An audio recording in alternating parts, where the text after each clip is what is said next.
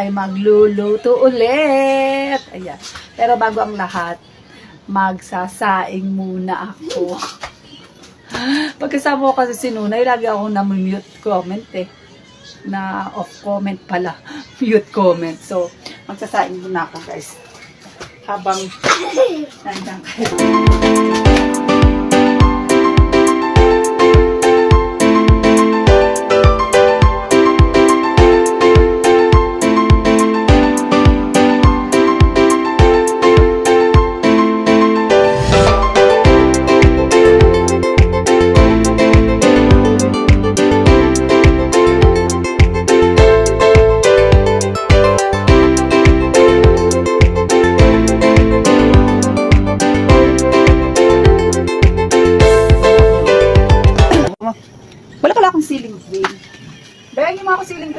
Tita.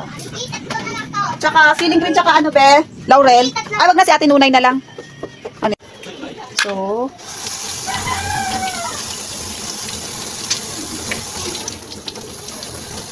isa lang siguro kamatis ilalagay. Tama na isa. Gagawa pala akong atsara pero hindi ko alam kung kailan ako makakagawa. Iwain ko lang to guys.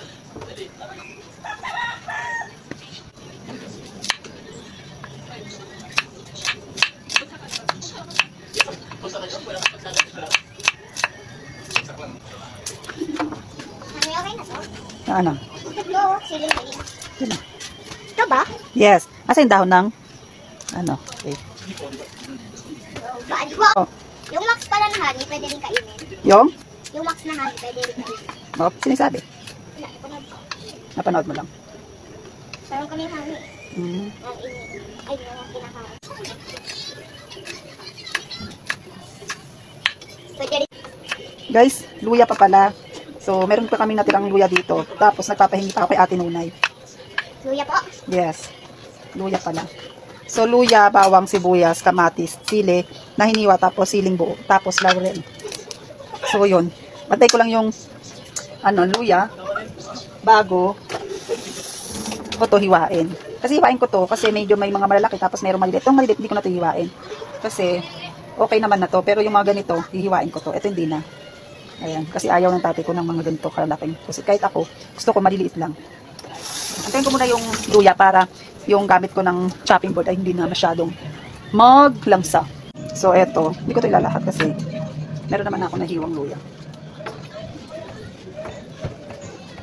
Hindi naman kailangan madaming luya dito kasi ano naman, may suka naman to. Adobo naman to adobo. Yung adobo daw, yung adobo. Minsan lang kami makaulam ng ganito kasi nga madalang din yung ganito kaliliit na pusit. So, ano, yes. Hindi, alam ko hindi ka kumakain na ito eh. Kumakain na. Kumakain ko. Busot. Tuloy. Busot tuloy. Oh, magalaw mo yung camera. Buset, buset. So, ayun. Kanina kasi ang inulam lang namin, pritong isda. Tapos guys, eto na, hiwain ko na to. Pero, saglit lang. So, ayan. Etong mga maliliit, hindi na to. Ito lang, ma, ma, ano, ma, ano to? Yan. Separate ko rin tong ulo para, yan o.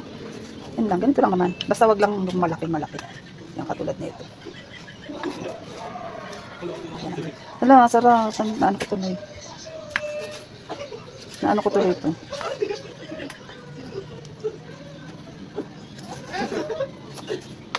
So, ano lang to, power ano lang pa lang to, preparation. Yung cooking, ayan, so, separate natin ng ano yun. Pero, magkaduktong na rin to.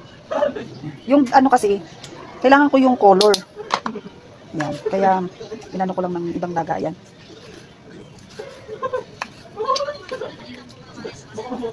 Sana ma, ano, ma-edit ko to. Ang dami kong edit talaga, guys. Yung iba hindi ko na na-edit. Ina-upload ko na lang.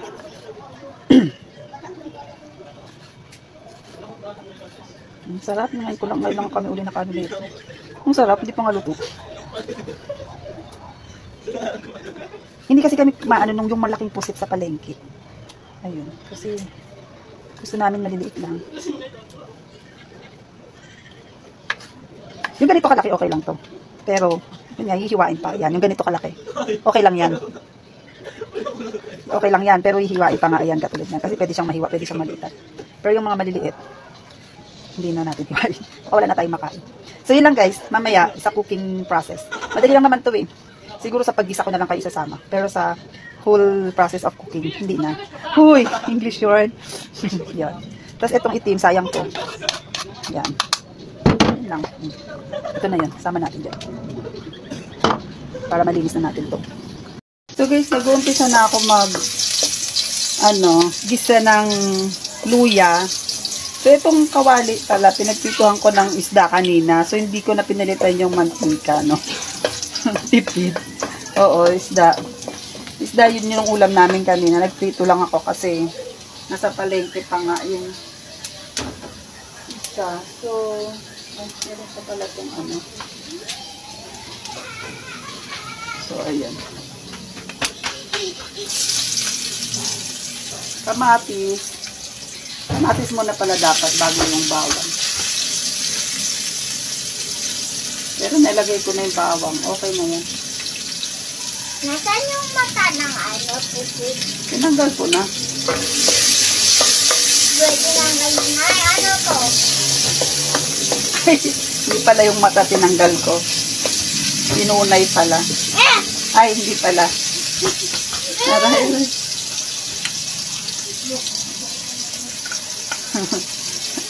Kasama na yung ano. Sili.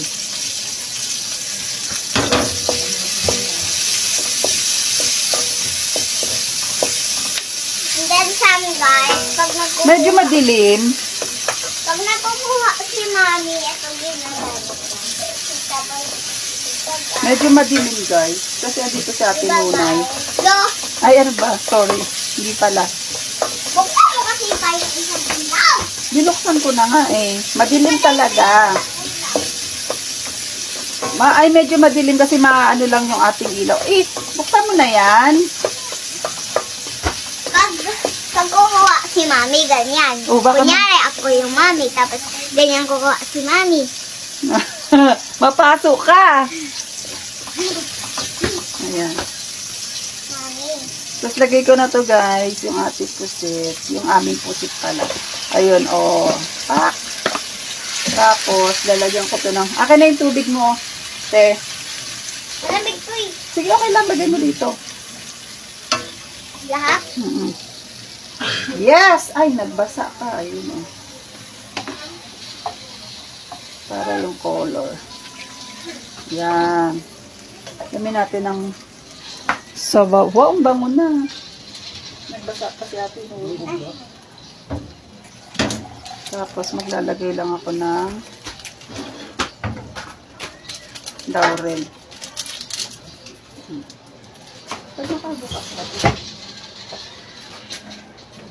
Tapos, yan. Isasangkutsa na natin lahat guys kasi para hindi na tayo mag ano ba tawag dito? Hindi masyadong maluto yung ating I mean ma-well din yung kasi kasi magiging gami. Magiging gami. Ano ba yun? So magla dahil meron na tayong ano, maglalagay lang tayo ng Ayan, isang kalahati. Kasi may kulay naman na. Lasa na lang yung kailangan ng toyo. Tapos, anong ginagawa mo? Wala tayong suka. Ito lang yung suka na.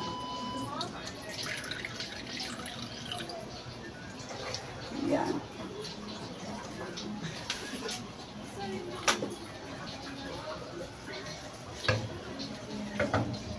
Yun, ganun lang. Papakuloy lang natin siya ng konti. Lulutuin natin yung suka. Tapos, ayun na. Wala. Mm ganun lang at simple. Pag yan, walang lasa din ano. Walang lasa. Pwede bang walang lasa yan, te? Sige, yan. Babalik tayo, guys. Tignan nyo na lang. Wait. Ayan, pwede pala yung nakatalikod siya, guys. Ayan na, oh. Medyo, medyo, kumukulo na pala siya, pero titikman natin, ha. Huwag natin masyado huluin kasi meron pa nga siyang suka. Hindi pa ganun kaluto yung suka niya. So, let's taste muna. Ano yung mag, ano, lasa. Kung kulang sa toyo or sa suka, tapos papatikin natin kaya tinunay kung papasa. Kumakain siya doon ng pandesal.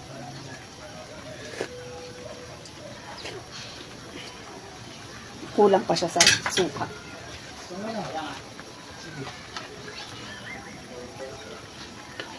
Kasi hindi siya adobo pagka mas matambang sa suka. Tsaka toyo. Kulang rin sa toyo.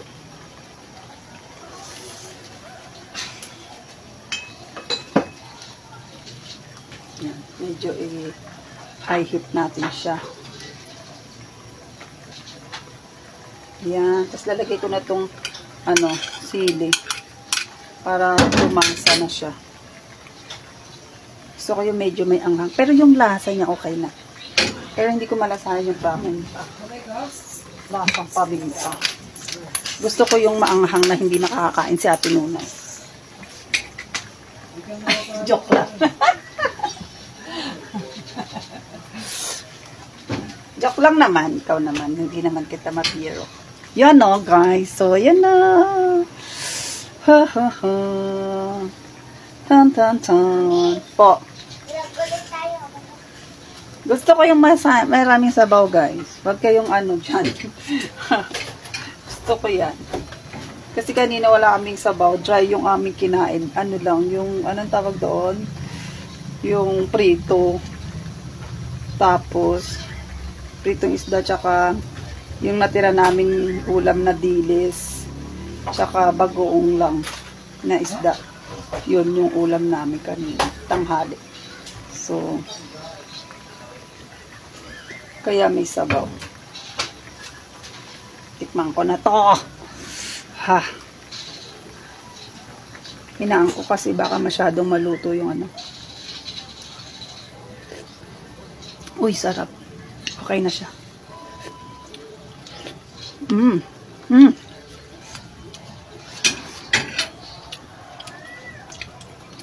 Wait lang. So, papatikin ko na kay Ate Nunay.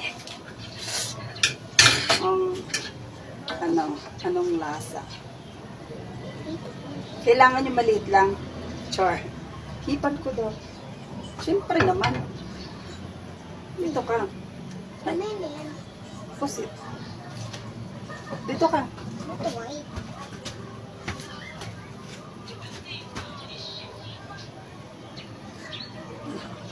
Tikman mo. Ah, ah, mainit. Yung lasa ng sabaw. Masarap.